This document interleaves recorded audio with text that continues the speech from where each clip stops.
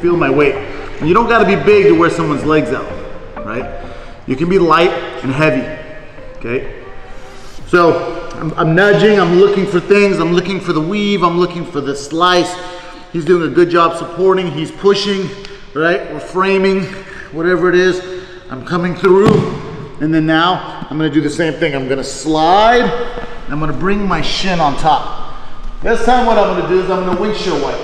This leg does the same thing. Pressure on the knee, drive to the mat. As I do, I'm gonna bring my leg behind.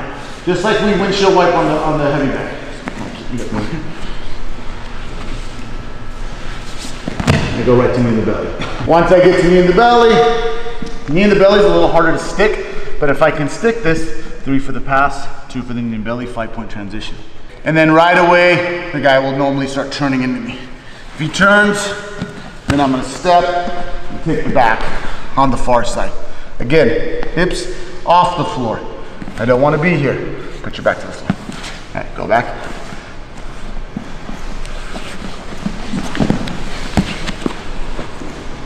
Right? I wanna make him carry my weight the whole time. Then, I'm in my straight jacket, or I could just be just regular seatbelt attack, right? The choking hand, I'm always covering my watch, keeping my head on the same side. His hands will be in fighting me. I can start wrist riding, start looking for the choke, or I can start looking for the armbar. If you like the straight jacket, every time you enter the back, just go for the, get your grip before you go. Just make it like a habit. Okay, he's jamming me up, can't get my space. I'm gonna level change. Now I can bulldoze into him, right? Now I can, now I start nudging, I'm looking for something. If I don't have anything, he's framing, he's doing a good job. I'm gonna come through, slide, shin to shin, keeping good pressure. Windshield wipe, right? He starts turning into me, maybe trying to single leg me. I hide my foot, step.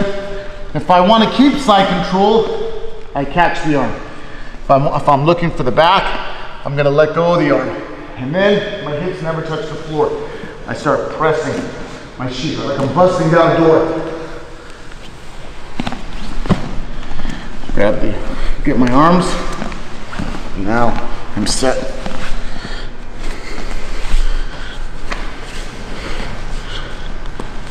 I finish. Pushing, he starts driving back into me. Heavy, heavy. I start nudging. I don't find anything. I come through, slide, stretch. He turns. I hide my foot. Step.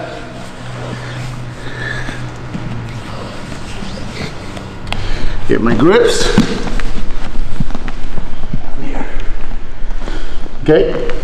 Once I'm here, if your hands ever get like I, if your hands ever get tangled the wrong way, don't let go of the top arm. If you let go of the top arm, he has all this room to keep it away from you. If you get if you get messed up with your with your grips, let go of the bottom arm. He has nowhere to go. He's pinned to the mat. I'll have an easier time finding it. If he keeps that hand away from me, he'll bring it back. If I can't get it, then I can just re-grab it. And then I'm inside the hands. Right, wrist locks. Start playing on a lot of stuff.